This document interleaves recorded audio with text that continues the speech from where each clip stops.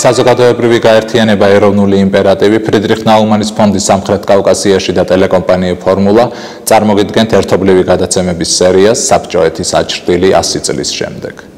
დღეს ჩვენ საუბრობთ სამუზეუმო სივრცეებში შემორჩენილი საბჭოთა იდეოლოგიური ექსპოზიციებისა და წითელი ბელადის მუზეუმის ადგილის შესახებ დღევანდელობაში და გადააზრების კონცეფტის გათვალისწინებით რეექსპოზირების მნიშვნელობაზე და ახალი კონცეფტის განსაზღვრაზე. ნებისმიერი მუზეუმი თუ სახლ-მუზეუმი ჩვენ თვალწინ წარსულს აცოცხლებს. გარკვეულ პირობით სივრცეში კონკრეტული დროის ან სახლ-მუზეუმის შემთხვევაში პიროვნების შესახებ ვიზუალიზაციის საშუალებით გვაწვდის ინფორმაციას. ექსპონატები გვიჩვენებენ ამა თუ იმ ისტორიული ფაქტის მოვლენის პიროვნების შესახებ מחასიათებელ შტრიხებს, იერსახის დეტალებს, მაგრამ იმის გარდა რომ გვიჩვენებს მუზეუმი გვიყვება ან უნდა გვიყვებოდეს მნიშვნელოვან ამბებს კონკრეტული ისტორიული პერიოდის მოვლენისა თუ პიროვნების თაობაზე. აქ უმთავრესი დატვირთვა ენიჭება არა მხოლოდ ექსპონატებს, არამედ თუ როგორ არის ექსპოზიცია მოწყობილი. ანუ რისი თხრობაა მისიც შესაძლებელი. აქ ჩდება კონტექსტის საკითხი და რაც მთავარია იდეა, რას ემსახურება ესა თუ ის მუზეუმი ან ექსპოზიცია. რაც ლოგიკურად პირდაპირ კავშირში უნდა იყოს ერთის მხრივ ისტორიული სინამდვილის ასახვასთან, ხოლო მეორეს მხრივ ამ სინამდვილის გააზრებასთან, ღირებულებების კონტექსტის გათვალისწინებით. რადგან ამ საკითხზე საბჭოთა წარსულის გადააზრების ჭრილში ვსაუბრობთ, ზემოხსენებული სტანდარტის მაგალითად არ შეიძლება არ ვახსენოთ საბჭოთა ოკუპაციის მუზეუმი. რომელიც მნიშვნელოვანი მონაპოვარია ჩვენ სინამდვილეში. ამის პარალელურად კი სამუზეუმო სივრცეებს შორის დღემდე არსებობს თუ თანაარსებობს სტალინის მუზეუმი გორში.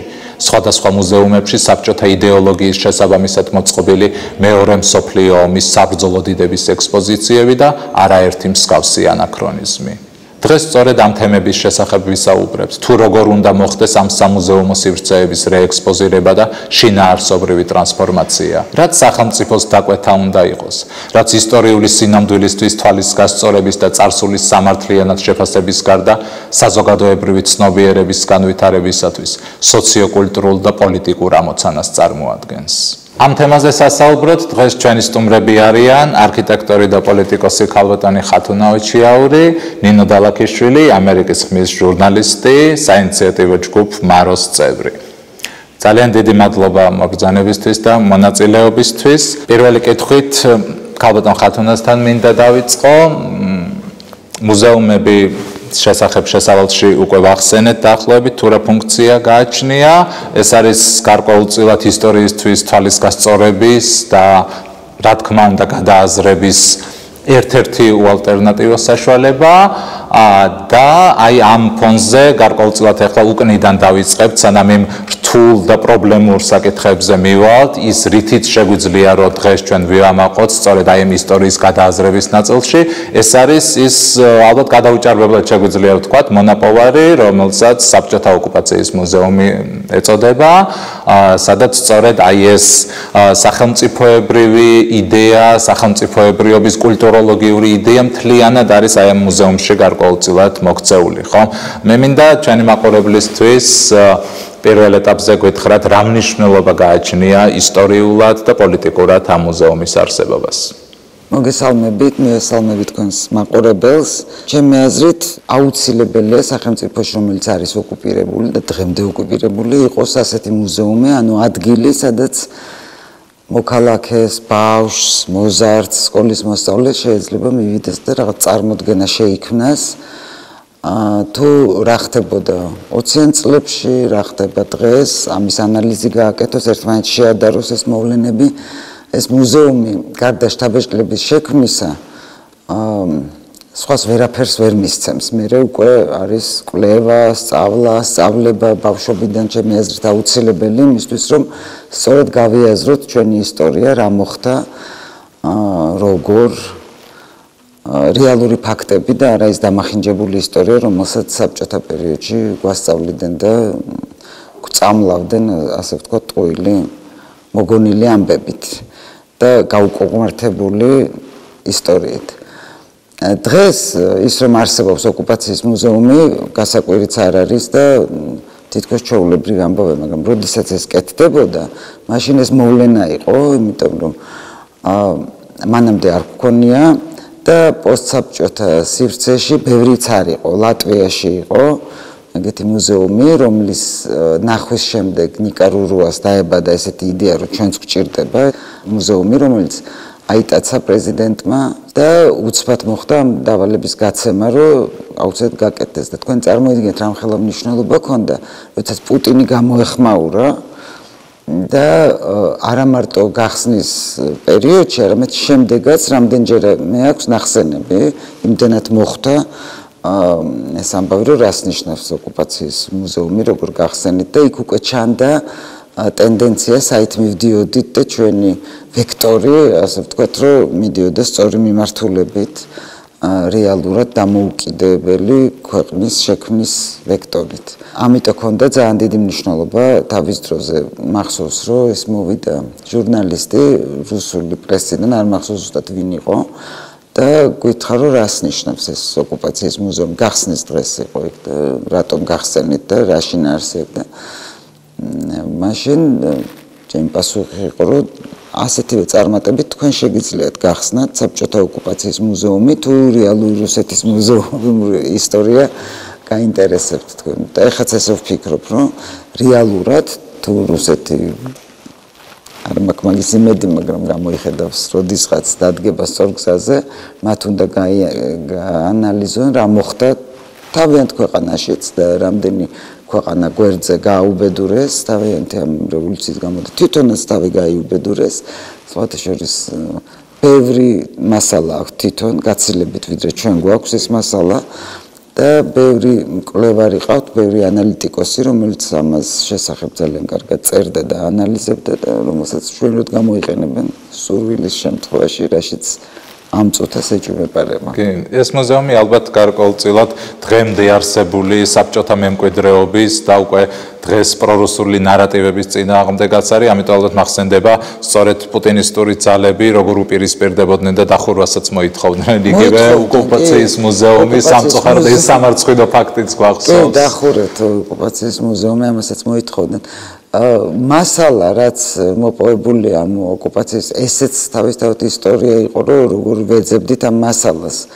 რაც გამოფენილია და რაც წარმოდგენილია ეს ძალიან ჭირს საქართველოსში იმიტომ რომ 20-იან წლებში როდესაც მოხდა ეს ოკუპაცია როდესაც ხალხს იჭერდნენ ან კლავდნენ მათი ფოტოსურათები ნივთები იღებდნენ როგორც ნივთ მტკიცებას და აი მარო მაყაშვილის ერთადერთი პორტრეტი ისეთ როგორ არსებობს, საიდან არის გადარჩენილი ერთადერთი ფოტო, რომელიც არ წაიღეს და დარჩა დედას ბალიში ჩააკერა და აი წლები ესე მოიტანა ბალიში ჩაკერებული თავის შვილის ფოტოსურათი. და ეს ვიცით ზუსტად რომ ეს რატო არ არსებობდა კაკუცას ფოტოები, რატო ვიპოვეთ ძნელად ოჯახებში გადამალული ეშინოდა თავს ეს იყო სამხილი. იმ დროს ჩეულებრად იმისთვის რომ მოეკალი გადაესახლებინე ოჯახი ამოეწყვიტა შენთვის და ასე შემდეგ. ამიტომ ძალიან წირი მასალა არსებობს. ძალიან დიდი ისტორიული მოვლენის. საბედნიეროდ კიდევ ვიმეორებ გვაქვს. ეს სასიხარულო და საჭირო ძალიან აუცილებელი პრეცედენტი.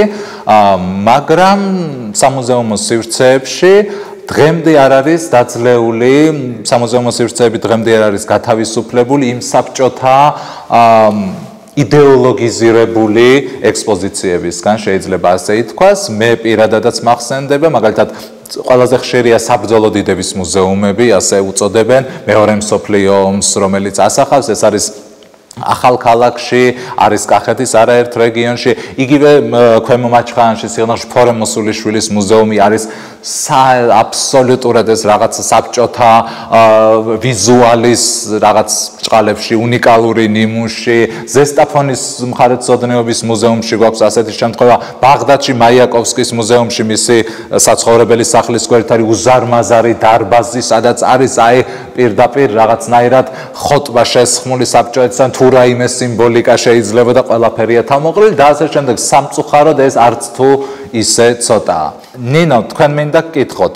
ეს არის ყველაფერი, ასე ვთქვათ, მუზეუმის საკუთრება, ისტორიის ნაწილი და ალბათ არ ფიქრობთ, რომ ეს უნდა რაღაცნაირად დაექვემდებაროს ლიკვიდაციას, გადავყაროთ, მოვიშოროთ და ასე შემდეგ, ხომ?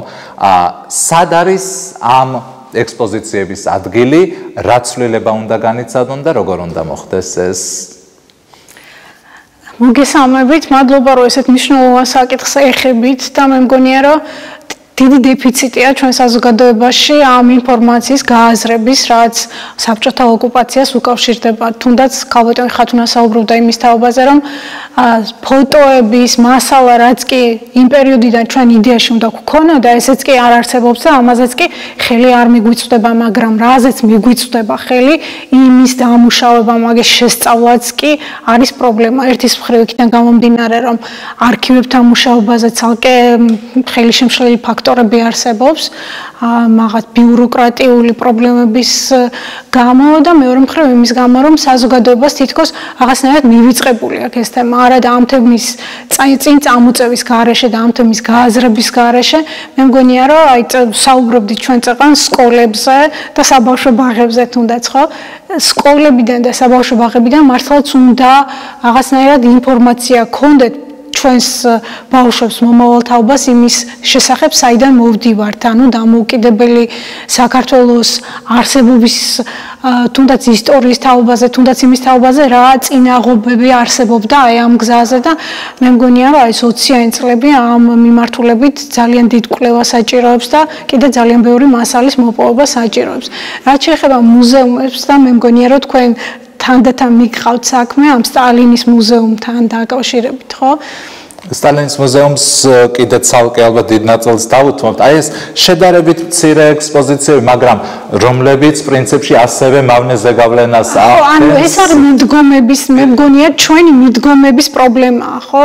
თითქოს ყველამ ვიცით, რომ ეს არასწორად არის და უკეთესად უნდა იყოს და ეს აუცილებელია რომ ესე იყოს, მაგრამ რაღაცნაირად ჩაკარგულია ეს თემა. თითქოს მნიშვნელობა აქვს ჩვენთვის დაკარგული. არა და რომ გადავხედოთ მოვლენებს რა პოლიტიკურ პრობლემებსაც დღეს ვაწყდებით, ხო, იგივე ვთქვათ, ულტრა მემარჯვენე ძალების მხრიდან, იგივე რადიკალური ძალების მხრიდან, რომლებიც პოლიტიკაში რაღაც არასასურველ ფონს ქმნიან ხოლმე და რაღაცნაირად პრორუსულ განწყობებს აღვივებენ და ასე შემდეგ და ასე შემდეგ. ეს არის, რა თქმა უნდა, კავშირში იმ ყველაფერთან, რომ ჩვენ გვაქვს გააზრების პრობლემა, შესწავლის პრობლემა. ეს ხელს უწყობს მათ მიმ, როცა მუზეუმში ეს ექსპოზიცია აქვს, ნანახი, შემდეგ ასეთი ძალებისადმი რაღაც ბუნებრივი ფაქტობრივად თითქოს მიმღებლობა უწდება. ერთი დიდი სურათის ცალკეული პაზლი, რომელიც ჩვენ გვაქვს რაღაცნაირად მიფანტულ, მოფანტული და რომ დავინახოთ, ანუ რა ხდებოდა სიამდვილეში და რა გვინდა, საით გვინდა წავიდეთ, სრული სურათის დანახვაში აი ეს ამოგლეჯილი ნაწილები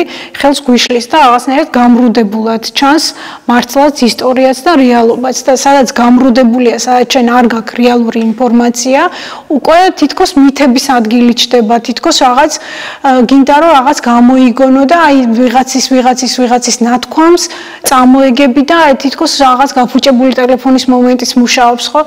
ბევრი ბევრი პრობლემა რა თქმა უნდა მოდის იმისგან რომ შენ რაღაც მყარად არიცი რაღაც დარწმუნებული არ ხარ შენ ცოდნაში ეს ესე იყო თუ ის ისე იყო და ამ დროს როდესაც მოდის პროპაგანდა და ამხელა მანქანაგი პირისპირდება და გეუბნება რომ იცი რა შენ აი ესე იყო და მას ამუშავებული აქვს ეს თემა. იცის როგორ შემოგაპაროს როგორ კარგად ესე გამართულად და დავარცხნილად და მოწესრიგებულად გითხრას რომ იცი რა სინამდვილეში შენი ეს დამოუკიდებლობა ეს განამართლა დამოუკიდებლობა უნდათ იმ ხალხს? არა უბრალოდ ესე გამოვიდა იმიტომ რომ ის აბა რა უნდა ეკნათ ხო? ისტორიულად ჰაერში რჩებოდა და სხვა გზა არ ქონდათ უნდა გამოეცხადებინა დამოუკიდებლობა და თითქოს იქნება ისეთი შტაბაშტილება რომ ეს დამოუკიდებლობა განა ჩვენ მოვიპოვეთ და განაგვინდოდა არამედ რაღაც ისტორიულმა მოვლენებმა განაპირობა და მიიღეთ რაღაც. როგორც ხიდან ვაშლი ჩამოვარდება და რაღაც ძირს დაეცემა და ეს ესე მოხდა და არ გიშრომია ხო ამისთვის. არა და ეს ესე სულაც არის როგორ დავკარგეთ მე რა აი თუ დაკარგვას გაიაზრებ ხდებიან, მე რომ მოპოვებასაც მიხვდებიან, რა მხელა ძალისხმობა უნდა.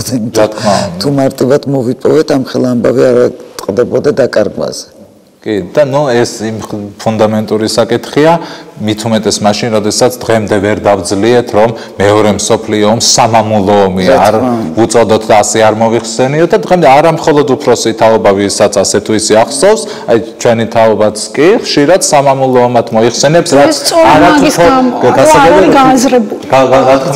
რა გააზრებული კი რა ხელა შიში იყო თუ რა იყო დანერგილი აი წარმოიდგინეთ დღეს პუტინის ომში იხულოს და გავარდეს საქართველოს და იმას დაარქვას მერე სამამულო ომი. ბევრად დიდი სისხლი ბოლშევიკებმა დაღვარეს აქ ვიდრე პუტინმა ჩვენი ოკუპაციის დროს. ბევრად დიდი. შიგნით საქართველოსში მისაზრდა ომის დროს მერე რეპრესიები და აი რამდენი წელი იყო გასული 2 ათეული თუ რაღაც წელი და ის თაობა ცოცხალი იყო და გაცვდნენ და სამამულო ომს ეძახდა ეს შიშისგან შეპყრობილი ხალხი ჩემი მარწმენეთ ეს იყო შიშის გამო ალბათ ნუ სხვა ახსნას მაგრამ ეს ყველაფერი კიდე არის ნასაზრდოები დღესაც ხო? აი შარშან გახსნეს მოსკოვში რაღაც ჰიბრიდი არის თან ეკლესია თან მუზეუმია და თან სტალინია და თან წმინდანია არ ვიცი ალბათ ვიცით ხო ნახეთ ეს ყველა ხო საოცარი რაღაც თითქოს ახალი რელიგიის შექმნას ვესწრებით ეს თვალსადახილ შუა და ეს თითქოს გვასაღებენ რომ არის ქრისტიანობა და აი რაღაც სტალინიზმისა და პროპაგანდა. პროპაგანდა შერწყმული ესეთი რა თქმა უნდა მათ პოლიტიკურ ასე ვთქვათ ინტერესებზე მორგებულია ეს ყველაფერი და შეფუთულია ისე რომ აი ნუ რაღაც ჩვენ სენტიმენტებსაც თითქოს ეხება, თითქოს რაღაც იმ თქვენს ნახსენებს სამამულო ომსაც ეხმიანება, რომ ჩვენ საერთო დანაკარგი გქონდა ეს ერთიანობა, ეს განცდა რომ აი დიდ მტერს ერთად ვებრძოდით, ანუ ეს ყველა ყველა სენტიმენტი და ყველა რაღაც ემოცია, რაც კი საქართველოში არსებობს, არის თანდათანობით ესე წვეწვეთად ნაკვები და რაღაც მიმართულებაში ჩასული. ნუ იმას რო თავი დავანებოთ საერთოდ, ხო? არაჩვეულებრივი წიგნია გამოსული 13 მითი სტალინის შესახებ, სადაც ჩვენივრად არის აღწერილი, რომ სტალინმა უმი მოიგო ესეც ასევე მითია, მაგრამ ეს კიდე ნუ ცალკე საუბრის თემაა და ჩვენი გადაცემების ფორმატში ამაზეც ვისაუბრებთ და ნინო სტალინი ახსენა და ნამდვილად აი სწორედ მუზეუმებთან მიმართებაში ალბათ ყველაზე სამარცხვინო სიტუაცია გვაქვს სტალინის მუზეუმში. ვნახავთ ვიდეოს დღევანდელი სტალინის მუზეუმის არსებობის და მისი ვიზუალის შესახებ და დაუბრუნდებით სტუმრებთან. სისხლიანი ბელადის იოსებ სტალინის მუზეუმი მდებარეობს ქალაქ გორში, მის მშობლიურ ქალაქში. ფორმულირებას მშობლიური გეოგრაფიის განსაზღვრისათვის ვიყენებ, თორემ მისთვის საქართველოსი მშობლიური ძნელი წარმოსადგენია რამე ყოფილიყო. მომავალი დიქტატორი ამ სახლში დაიბადა, სადაც მის სიცოცხლეშივე 1927 წელს გაიხსნა სტალინის მემორიალური სახლ-მუზეუმი. ცივილიზებულ სამყაროში ალბათ ეს ერთადერთი მუზეუმია, რომელიც პიროვნების სიცოცხლეშივე გაიხსნა. საბჭოთა კავშირისაგან მისი პარადოქსულობიდან გამომდინარე ეს გასაკვირი სულაც არ არის. სახლ-მუზეუმის გახსნიდან მალევე კი ეს პატარა სახლი ანტიკურ მავზოლეუმის ტიპის ნაგებობით შეფუთეს. ხითა და აგურით ნაშენ ქოხზე დადგმული მასიური პავილიონი იმდენად კონტრასტულია, რომ მათი ერთიანობა დღეს ღიმილს იწვევს და სატირული შესახედაობისაა. თუმცა მაშინ და გარკვეულ კატეგორიას დღესაც ეს კონტრასტი სულაც არ ხვდება თვალში და ბუნებრივ მოცემულობა დღებულობენ. 1957 წელს კი ამ კომპლექსის გვერდით აიგო მასიური ორსართულიანი შენობა, სადაც ამაყად გამოფინეს სტალინის სახოტბო ექსპოზიცია. ეს მუზეუმი ორ სართულზე განლაგებული შვიდი დარბაზისაგან შედგება, სადაც რაც არ უნდა უცნაური იყოს დღემდე უჩვეულო და ადეკვატურობას მოკლებული სენტიმენტებით და ხიბლნარევი ტონით გვიყვებიან წითელი ბელადის შესახებ, საბჭოთა იდეოლოგიის შესაბამისად მითოლოგიზირებულ ამბებს.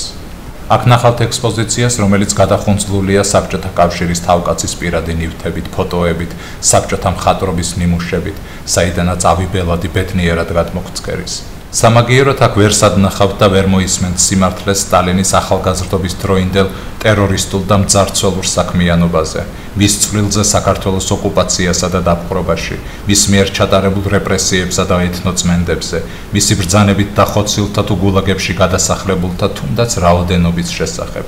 მუზეუმს 2010 წელს დაემატა ერთი საექსპოზიციო ოთახი, რომელიც მოჩვენებითად და ზედაპირულად საბჭოთა რეპრესიებს ასახავს. თუმცა ეს ოთახი უმთავრესად დაკეტილია და დამთვალიერებლის მოთხოვნის შემთხვევაშიც კი შეიძლება არ გაგიყო. ხოლო თუნდაც რომ ამ ოთახის ნახვის საშუალება მოგეცეთ, ფრაგმენტულად მოგიყვებიან საბჭოთა რეპრესიების შესახებ, მაგრამ ისე რომ ამ კონტექსტში უდანაშაულო ხალხის სისხლზე აღზევებულ ბელადს არც კი ახსენებენ. ყველაზე არასახარბიელო კი ის არის, რომ საქართველოს დამოუკიდებლობის აღდგენიდან 30 წლის თავზეც კი ეს ინერცია კვლავ გრძელდება. ქალბატონ ხათუნა, აი ის რაც ახლა ვნახეთ, ხომ? და რაც ხდება დღემდე სტალინის მუზეუმში დარწმუნებული ვარ თქვენ ისედაც კარგად იცით, რამდენად არასახელმწიფოებრივია პირდაპირ მინდა გკითხოთ. აა იცით როგორ არის საქმე სტალინის მუზეუმი? იყო იდეა, რომ სტალინის მუზეუმი გადაკეთებულიყო და გაკეთებულიყო რეალური მუზეუმი, სტალინის ხერხთა მუზეუმი. რასაც შეხვდა წინააღმდეგობა, ხა ჩვენ როცა დავდივით, ვფიქრობდით ამაზე, როგორ უნდა გავაკეთოთ უფრო რბილად, ხალხისთვის არა ძალიან მტკივნეულად ახსნით. აა იქ იყვნენ თანამშრომლები ამ მუზეუმის სიმპათიური ძველი ხალხი. რომლებიც ნუ აფეტიშებდნენ სტალინს. და ჩვენ ვესაუბრებოდით გიორგი კანდელაკი წერდა ტექსტს, რა ტექსტიც უნდა შეცვლილიყო თქვა თუნდაც აი მინიმალური ის ტექსტი რომელიც იქ არის შესავალი სიტყვა რო რა არის ეს და ერთხელაც მივედით და ნახეთ ეს ტექსტი პატარა ეს A4-ზე იყო ამობეჭდილი სადღაც. იყო მიკროლი რომ აი ვითომ გავაკეთეთ. აა იმ ხალხს ესე არ ვიცი ჯეროდათ უკვე ამ ბურუსში არიან თლიანად გახოვილი. მე ბევრჯერ მიფიქრია, რომ როგორ უნდა გაკეთდეს ეს. აი თლიანად ის მოისპოს თუ პირიქით კონტრასტი ააშენო და აჩვენო დღევანდელი ინტერიერი დღევანდელი მასალით, რაც გვაქვს, თქვა რეპრესიების ჩვენებით, აი საშინელების ჩვენებით, რაც იმ ეპოქამ მოიტანა. ადამიანებისთვის და ეს დატოვო როგორც საბჭოთა ესთეტიკის სიმბოლო, რომ ეს კონტრასტი ჩანდეს, რომ რამხელა სიმახინჯეა ხო ფაქტობრივად ეს საბჭოთა ესთეტიკა. ფაქტობრივად იტყუება ხო? სტალინის მუზეუმის და სტალინის თელი პერიოდები ბიოგრაფიიდან მის საქმიანობა ამოღებული აქვს ამ ეს გადაგდებული აქვს რომ ვითომ არ ყოფილა. მე რაღაც არ ვიცი მიფიქრე რომ იქნებ ეს კონტრასტმა უფრო აჩვენოს რომ შენ ის დატოვო რაც არის და გვერდზე გააკეთო რეალობა. და ჩვენ რომ აი აი ეს იყო ტყუილი ახლა არ ვიცი რამდენად ჩდება ჩვენ ფორმატში მაგრამ ჩემი მოადგილე იყო ერთი არაჩვეულებრივი კაცი. არ მინდა ახლა დავასახელო რომელმაც მითხრა რომ სტალინზე ნულაპარაკობთო რა ხმებს კარგავთო რა ბერს მე სწორედ ამას ვეუბნებოდი რომ უნდა გავაგებინოთ ხალხს და ცეთის რაიონში რაღაც სოფელში ცხოვრობდა და ჩემ ცოლსო დედაც და მამაც დაუხრიტაო სტალინო და სახში გვაქვს ბიუსტიო სტალინის. და ვეუბნებიო რომ ადამიანი შობლები დაგიხრიტა გაგანადგურათ აი მოგსპოთ რატო გაქამ ეთყობა დასახრიტები იყვნენ ნო აი ცოლიმ პასუხობს წარმოგიდგენია რა დონეზე არის მე მაინც ამას ვფიქრობ რომ ეს არის შიში სიბნელე და შიშს მოაქეს სიბნელე რომ ვერ გამოიხედო თვალებში.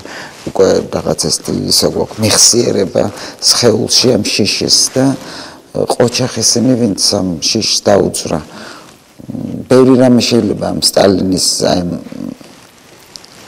შიშზე, როგორი შიშიდან ერგა. და ალბათ ეს შიში უნდა ჩანდეს ამ მუზეუმშიც, ხო ალბათ ერთ-ერთი ყველა ის მუზეუმი მთლიანად მოისპოს და არ ჩანდეს ის кошмари ესთეტიკა რაც ალბათ ამაზე საუბარი საუბარი დაიწყოს, მუშაობა დაიწყოს, თორე აქ ექსპონატების განადგურებას და რაღაც ბარბაროსობაზე არავის არ აქვს საუბარი. აი იმაზე ის ხო ძალიან საბჭოთა ესთეტიკა იქნებ დარჩეს, რომ აი ეს კონტრასტი გამოჩნდეს, თავისუფალი და აი ეს ტყუილი რაღაც. კი, ამის ინიციატივა თქვენს გააჟღერეთ არსებობდა 2012 წელს, როდესაც მაშინდელი კულტურის მინისტრი ნიკარურუა ჩასული იყო, არქივიდან შეგვიძლია ვნახოთ კიდეც ეს კადრები. სტალინის მუზეუმი, რომელიც არსებობს 1953 წლიდან გადაკეთდა სტალინიზმის მუზეუმად, ვინაიდან ინფორმით, როგორც ეს არის მისი შენარჩუნება უბრალოდ სიცხვილეა თავისუფალ ქვეყანაში სტალინის, ჰიტლერის და მათ შორის სტოლობის ნიშანი დასმულია დიდი ხანია თავისუფალ სამყაროში. ასეთი მუზეუმის არსებობა უბრალოდ შეუთავსებელია. ჩვენს დღევანდელ დღესთან და ჩვენს გასავალია ჩვენს მომავალთან. ერთი სიტყვით იყო ვერსია, რომ სტალინიზმის მუზეუმი სახელით გაიგრძელებინა ამ მუზეუმის ფუნქციონირება. თავისთავად რეექსპოზირებული სახით. ნინოს მინდა ვკითხო, ალბათ რაღაცნაირად მნიშვნელოვანია, რომ თარიღზე ცოტა მეტი აქცენტი გავაკეთოთ, ეს იყო 2012 წელს. მინდა ვკითხოთ, რატომ ვერ განხორციელდა და რამ შეუშალა ხელი და რა მნიშვნელობა ექნებოდა აი ამ მუზეუმის ტრანსფორმაციას თუ რეექსპოზირებას რომ მომხდარიყო? პირველ რიგში მინდა გითხრათ, რომ რამდენიმე წუთის წინ რასაც შევეხეთ პოლიტიკურ საკითხს და რუსეთის დამოკიდებულებას ამ საკითხის მიმართ, ხო? ეს არის როგორც ჩანს არა მარტო ისტორიის საკითხი ჩვენთვისაც, არამედ თანამედროვე პოლიტიკის საკითხიც. ну, მასია, კავშირშია. ასევე თქვენ შეეხეთ საკითხს, რომ ეს უნდა იყოს, თქვა, შეიცვალოს, არ შეიცვალოს ჩვენ აი მე ჩემი მეგობრები, როდესაც ამ საკითხზე მუშაობთ, როდესაც საუბრობთ იმაზე, რომ ისიც რა აი კონცეფცია უნდა შეიცვალოს, საით უნდა წავიდეთ, რატო რატო ვთქვათ ესე და არა სხვანაირად. და კიდე არის აი თანამედროვე პოლიტიკასთან მიბმული აბსოლუტურად საკითხი, ეს არის არა მხოლოდ მუზეუმის საკითხი, არამედ ჩაოლებრივ ყოფაში, ყოფიერებაში, დღევანდელში სტალინის დიდი დოზით არსებობის თაობაზე. იგივე არ ვიცი ეს შიშია, ეს რაღაც ჩაოლება, ტრადიცია თუ რა არის, არ ვიცი, მაგრამ ის რომ კანონის აწინააღმდეგოთ, გვაქვს კანონი თავისუფლების ხარტია. და ამ კანონში პირველივე მუხლში წერია, რომ არ შეიძლება არსებობდეს დასახელებები, საათაურები, მონუმენტები, ბიუსტები, იქ სადაც ვთქვათ მუზეუმის გაიგო განსაზღვროთ კანონი ტოტალიტარული სიმბოლიკის საჯაროდ განთავსების შესახებ, სადაც არის ჩამოყალიბებული როგორც ტოტალიტარული, ისე ფაშისტური სიმბოლიკის თაობა. და ჩვენ პირდაპირ ვეწინააღმდეგებით ამ კანონს, როდესაც გურში მთავარ ქუჩას ქვია, დღესაც სტალინის ქუჩა, ხო? ეს ხო მუზეუმზე არ არის საუბარი, რომ თქვა, კონცეფცია შეიცვალოს ამაზე ვიმსჯელოთ. ეს არის ყოფიერების დღევანდელი ჩაოლებრივი ამბავი, ხო?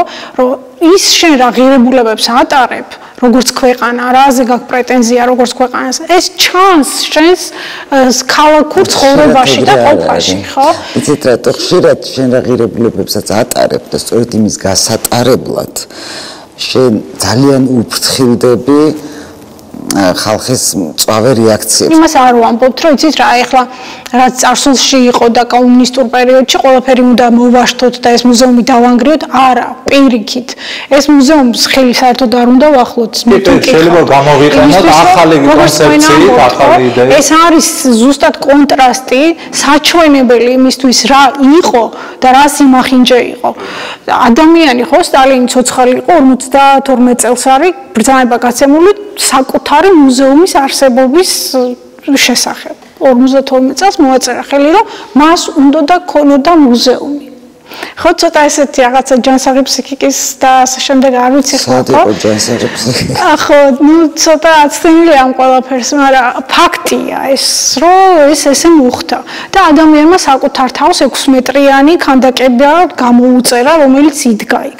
და ეს კი მოხსნეს 2011 წელს მაგრამ ეს ამ ძეგლის აღდგენაზე ყოველთვის არის საუბარი და ყოველთვის საკრებულოში 2015 წელს განცხადი იყო გაკეთებული რომ იცი რა ხალხი მოითხოვს რომ ეს უნდა აღვადგინო და უნდა აბა აღვადგინო და აღვადგინო და მაშინ აი ეს რაღაც როგორც საჩვენებელი საფრთხობელები ისე ვიყავით ჩვენ რომლებიც ვებრძოდით ამ სტალინის ზეგლის ხელახლა აღმართოს რომ ეს არ შეიძლება დიდი სირცხვილია დასავლელი პარტნიორების თვალში და იგივე ჩვენ თვალში დასავლელ პარტნიორებს რო თავი დავანებოდა ეს ხალხი იდგა რომელიც გუპირისპირდებოდა და ამბობდა რომ იცით რა პირდაპირ ადგილობრივ ხელისუფლებას მიმართავდა ჩვენ იმისთვის მოგიყვანეთ ახლა თქვენ თანამდებობებზე რომ ამის დაპირება გქონდეთ გაცემული. არაერთი ადგილობრივი მაჟორიტარი იყო თუ მერი წინასაარჩევნო დაპირებაში პირდაპირ ქონდა სტალინის ძეგლის აღდგენა.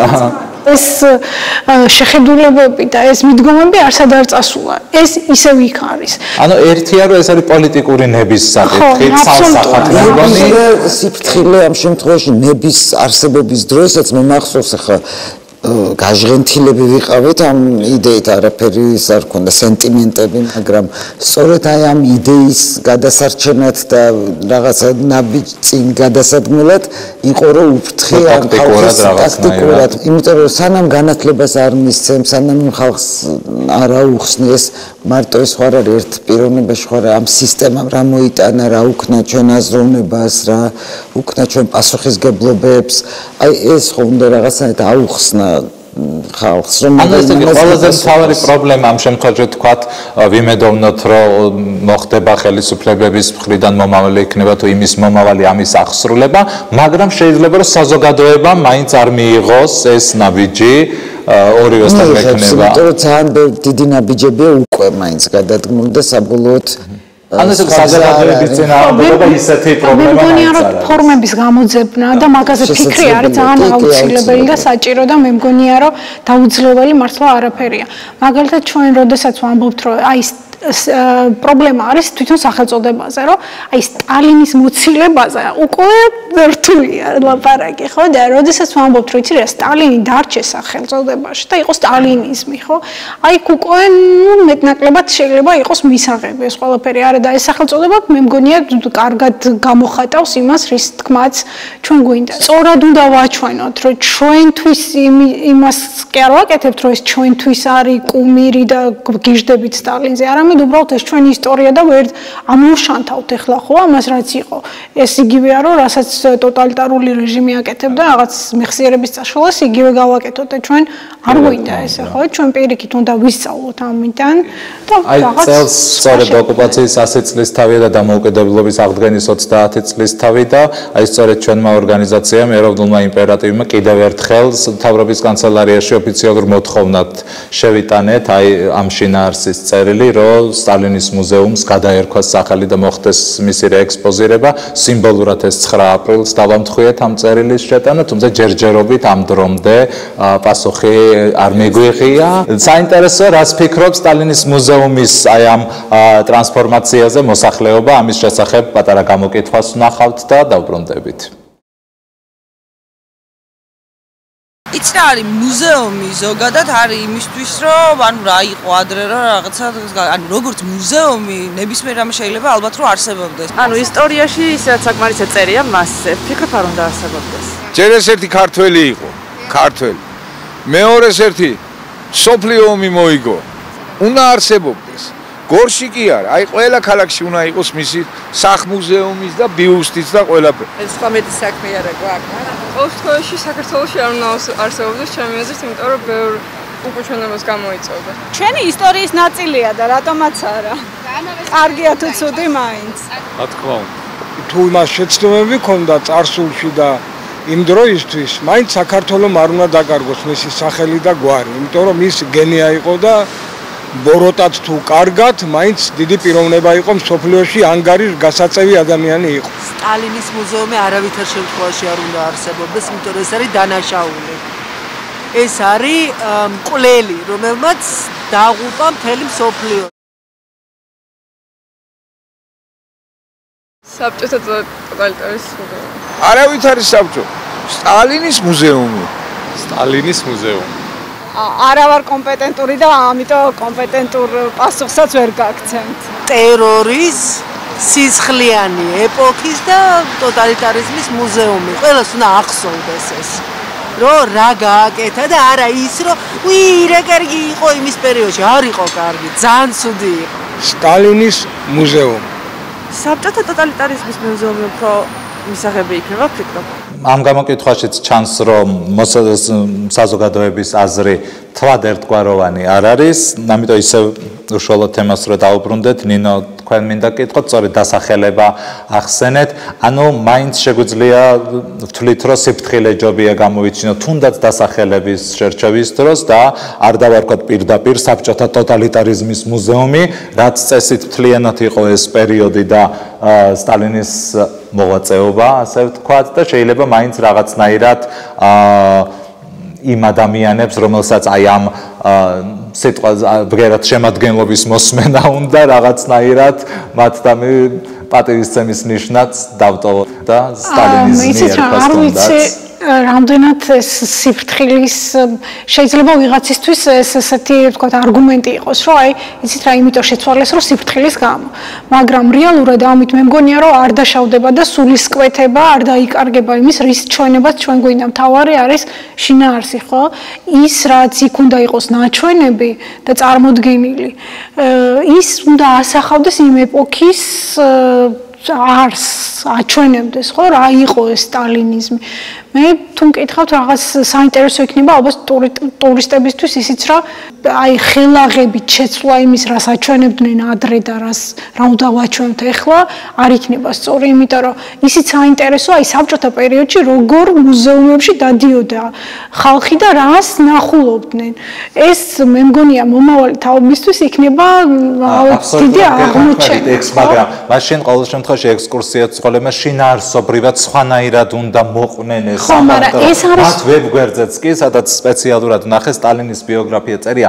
ერთი ფრაზით არ არის ნახსენები, თუნდაც მისი რომელიმე ნეგატიური სა, თუნდაც ახალგაზრდობის ხო ტერორისტული საქმიანობის შეც, ნუ მისი ბიოგრაფიის ნაწილია, ჩვენ ხო არაფერს არ ვიგონებთ. ნახსენებიც კი არ არის. ამიტომ ექსპოზიციის დატოვება ერთი საკითხია, მაგრამ რა დამოკიდებულებით, რა კონტექსტში მოყვება ექსკურსია ცხოლი, ამას ალბათ ამას ენიჭება გადამწყვეტი ნიშნულობა. და ექსპოზიციის გამდიდრებასაც მე მგონი წინ არაფერი არ უდგას, ხო? და კალტონ ხათონა ბოლო კითხვა თქვენთან მექნება, ვიმედოვნოთ, რომ ალბათ ძალიან დიდი დროც არჩება, როდესაც მოხდება ამ მუზეუმის რაღაცნაირად ხელისშევლება და ცვლილება.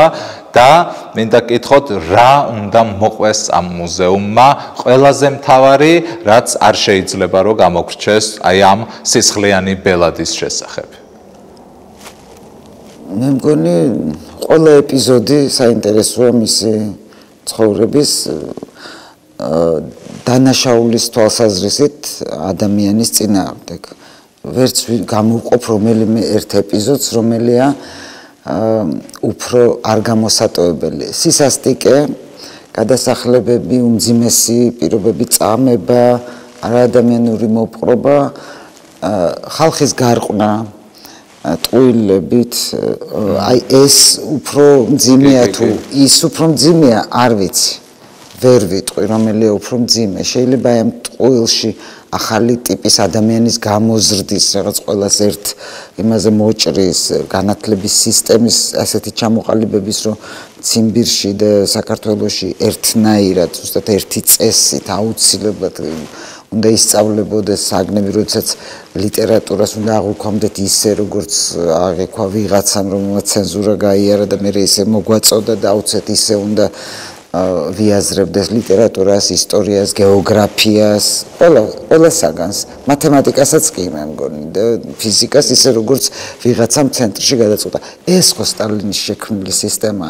მე არ ვიცი რომელი ნაწილი უნდა გამოტოვო, რომელმა უფრო დიდი დაღი დაგვასვა, რომელმა უფრო ჩვენ ცნობიერებაზე დიდი გავლენა მოახდინა იმ რეპრესიებმა, იმიტომ რეპრესიების სხვა სისტემებსაც მოყოლია და აქედან ხალხი გამოსულა. ბრძოლა სისხლი რა ბედურება რა თქმა უნდა, მაგრამ შემდეგ აი საზოგადოების ტოტალური გარყნა თუ რა დავასო აბალვანიევენი ნაროდა უწერია სოლჟენცინს. აი გამოთაყვანება ეს ხო ანუ ტყუილი უნდა იყოს ნაჩვენები რაში მდგომარეობდა ტყუილი ტყუილი მარტო კი არა, მთელი სისტემა როგორ მუშაობდა გამოთაყვანებაზე. როდესაც ცინიკურად მათ იცოდნენ, რომ ათაყვანებდნენ ხალხს და ტყუოდნენ.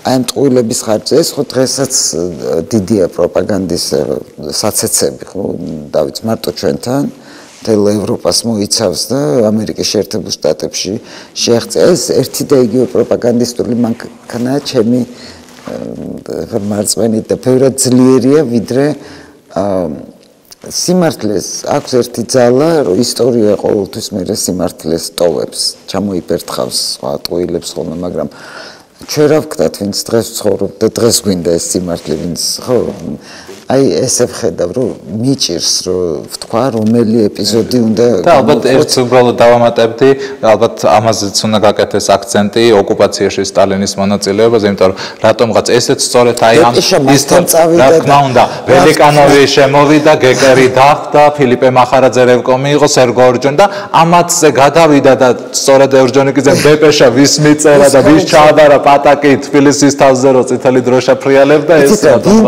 ამას არ ვიცი ეგ არგუმენტი არ გამიგია თუ ვინმე ამბობს რომ სტალინი არ არა არა ახსენ რაღაცნაირად ისე აქვს ეს წაყრუებული რომ ამ კონტექსტში ხშირად არ ახსენებენ სტალინს.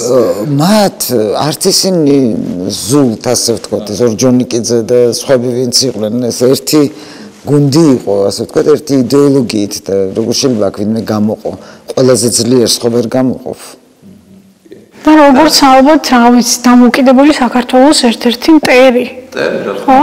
რომელმაც გასცა ბრძანება და მოახდინა საბჭოთა რუსეთის დიდი პატრიოტი მოახდინა ანექსირება.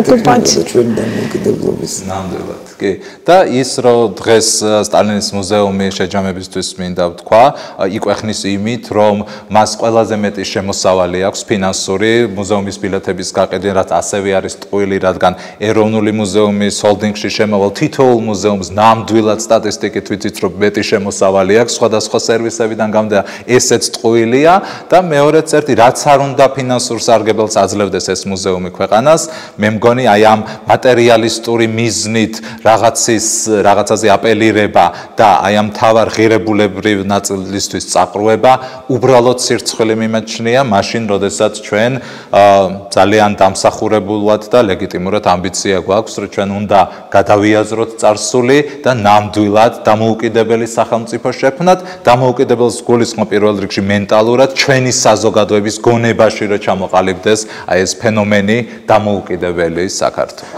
მაყურებელს ცირ რჩევასავით დავით შეიძლება მივცეთ თუ ამა თუ იმ მუზეუმში ნახავს საბჭოთა ექსპოზიციას და სიმბოლიკას პირველ რიგში თავის თავს დაუსვას ალბათ ის შეკითხვა თუ რას უყვება ეს ექსპოზიცია და ეს ისტორია რომ შემდეგ ამ კითხვაზე თუ პასუხამდე მივა იქნებ სწორედ რაღაც ნაბიჯი გადადგას გადააზრებისაკენ იმ ძიმე საბჭოთა 60 წლიანი მემკვიდრეობის.